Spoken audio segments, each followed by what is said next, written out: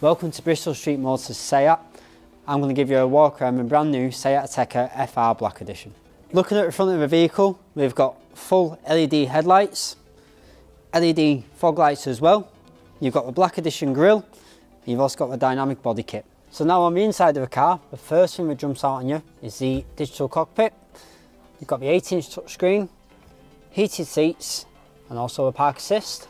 Two USB ports down the bottom here for your smartphone connectivity through Full Link. You've also got drive mode select, so you have eco, normal, sport and individual, so you can set it up how you like it. So in the back of the Ateca you've got loads of space, loads of leg room, loads of headroom, two USB ports down here and in the centre armrest two cup holders as well.